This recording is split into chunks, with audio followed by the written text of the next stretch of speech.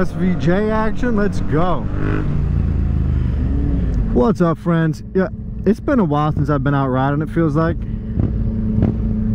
And I've managed to find myself mixed up in this pack of supercars.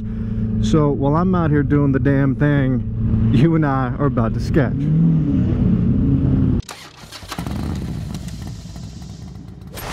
Supercars are super cool, but not as cool as super bikes. So today, you and I are sketching the 2020 MotoGP World Champion Joan Mir's Suzuki MotoGP bike. For the sake of the sketch, I'm going to drop it a little bit, get that stance right, maybe add some extra aero bits. Let's see how it turns out. Stay to the end, drop a comment, you and I are dropping lines. So I start this sketch out as I usually do. All right, I lay out the ground line, lay out the front wheel, and then get the wheelbase established.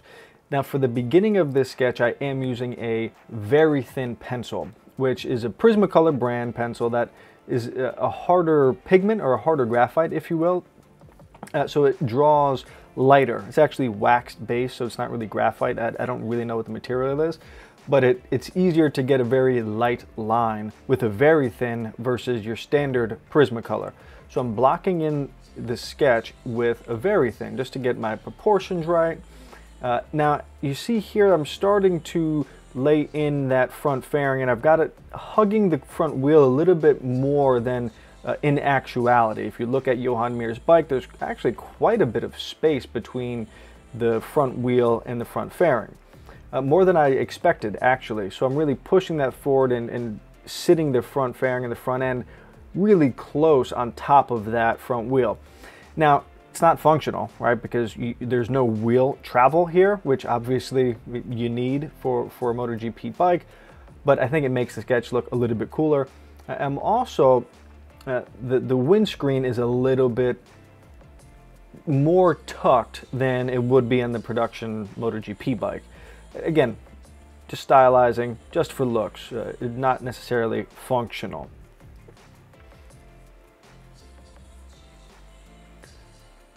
And I get in and I'm laying in some of the framework and this the the rest of that front body work.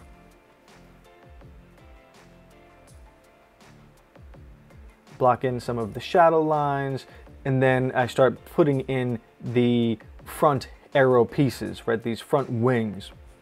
And they're really uh, come out quite far. They're, it's almost like a mustache on this bike, but uh, super functional and, and they kind of look cool. Now I go through and I, I, massage the shape of that front intake a little bit. On the production bike, it's just like a rectangle, which is fine and functional, but doesn't really look good. So I taper off the edges a little bit and give that some more style.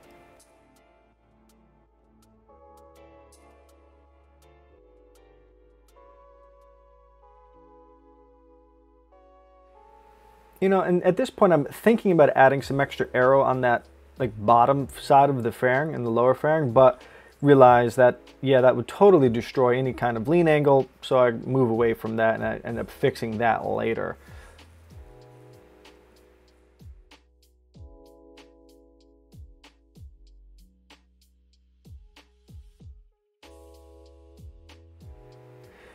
and I extend out that little little aero bit coming off the top of the tail gives it a little bit different look. Again, might not be functional, but hey, so be it. Uh, we're dropping lines here, and if it looks cool, we're just gonna run with it. And I also add a little bit of extra aero, another wing on that tail, just to spice it up. Again, functionally, uh, the engineers would probably laugh me out of the room, but if it looks cool, again, we're gonna run with it for this particular sketch. The rest of it's pretty true to what his actual Joan Mir's bike is, though. So uh, give myself a little bit of leeway to take some liberties because most of the sketch is pretty true to his real bike. Ask for forgiveness, not permission.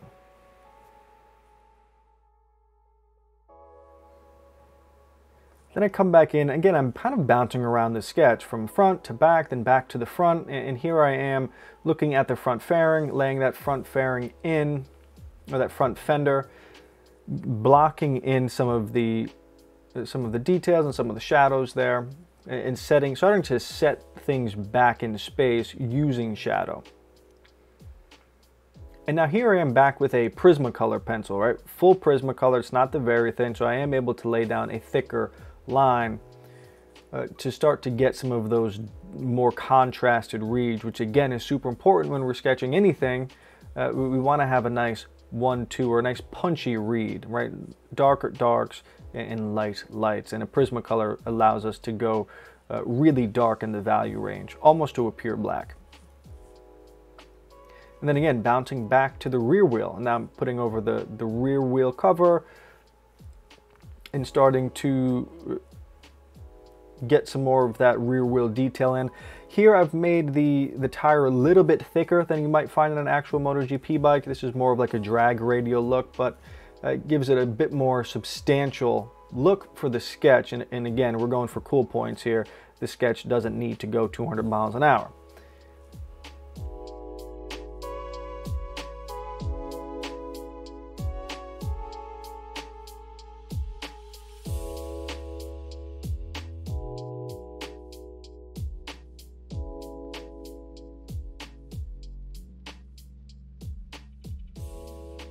And now just moving through the sketch, adding some additional details, starting to set things back into shadow even more. And I'm slowly building up uh, the, the shadow reads and building up the values.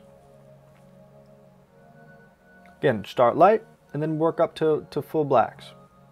That way you have some, some space in between to make corrections if you don't get everything laid out properly the first time. So draw lightly and then work into your darker values. And here I am punching certain things out, making sure that the front wheel reads, punching out some of that front, front opening, and then adding some value to the sides of the fairing to show that it's wrapping underneath uh, and it isn't just a flat plane.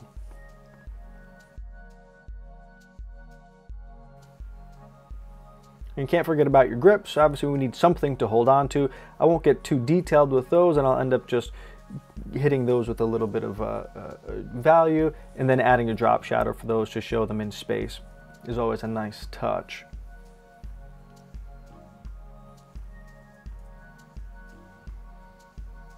And here you see that I hold the pencil a little bit different for some of these softer transitions uh, to get some more of that subtle gradient or value change.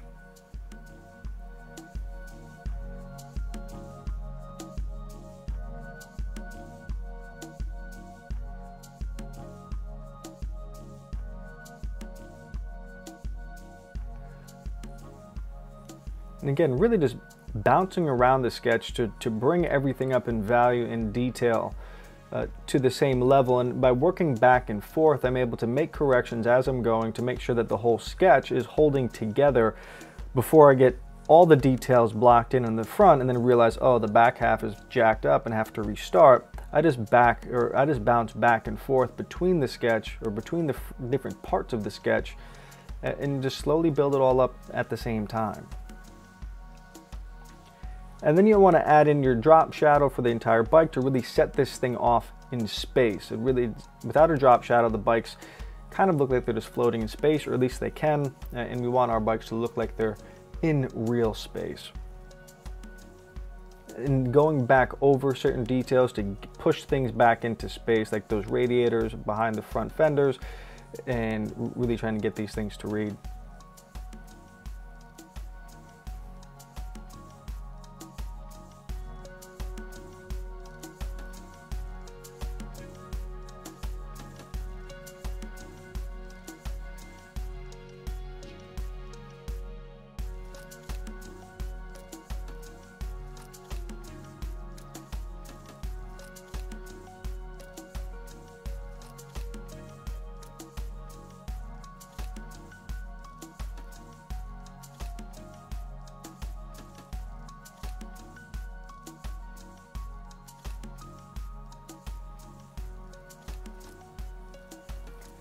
You know, I'm not super happy with the ellipse on the rear wheel, so I keep coming back and trying to correct that and get that to read like it's in proper perspective. It's not quite there, but you know, so be it.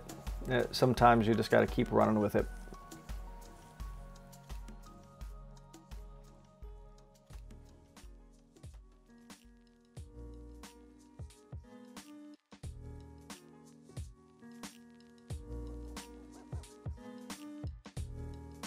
And this is my stab at Joan Mir's MotoGP bike. Hope you enjoyed this. If you did, like, subscribe, leave a comment, and we'll see you next time.